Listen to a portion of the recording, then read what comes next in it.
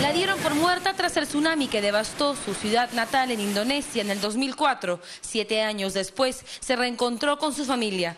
Mary Yulanda, conocida como Wati, fue arrancada de los brazos de su madre cuando una ola destrozó su barrio en el distrito de Aceh Occidental.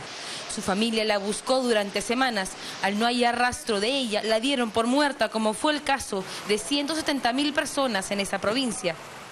Años después, Wati contó que una mujer soltera la recogió de la calle y la obligó a mendigar para sobrevivir. Incluso asegura que recibía golpizas cuando no era capaz de reunir suficiente dinero. Cuando cumplió 15 años, dejó de ser útil para su captora y la dejó ir.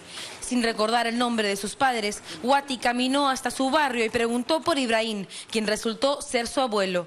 Su madre la reconoció por un lunar en la cadera y una cicatriz en la ceja que le dejó un accidente que sufrió a los seis años.